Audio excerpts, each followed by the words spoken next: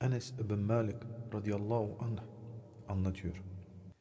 Ben 8 yaşındayken Allah Resulü sallallahu aleyhi ve sellem Medine'ye geldi.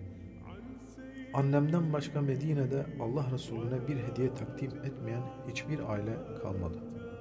Bunun üzerine annem elimden tuttu ve birlikte onun yanına gittik.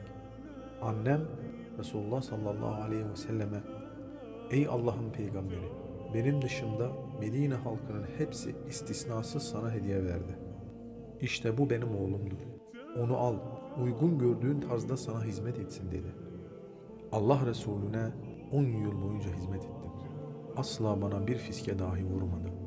Bir defa bile bana sövmedi. Asla bir defa bile olsun beni azarlamadı.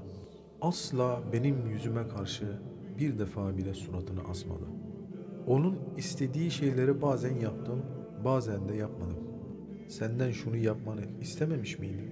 Ya da şunu yapmadın mı? Hiç demedi. Resulullah sallallahu aleyhi ve sellem bize sık sık gelip giderdi. Benim küçük bir kardeşim vardı. Onun da Nugayr isimli bir kuşu vardı ve onunla oynardı. Derken bir gün bu kuş ölüverdi. Resulullah sallallahu aleyhi ve sellem bir gün bize geldiği sırada küçük kardeşimin üzüntülü halini gördü. Bunun üzerine ey Ebu Nümeyr, ey Ebu Ümeyr neden üzüntülüsün diye sordu.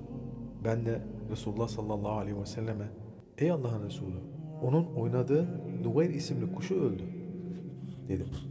Resulullah da ya Ebu Ümeyr ne yaptı Nugayr diye onu teskin etmeye çalıştı. Sevdiğimi Allah Resulü aleyhissalatu vesselam'ı vefat ettikten sonra rüyamda görmediğim hiçbir gece yoktur.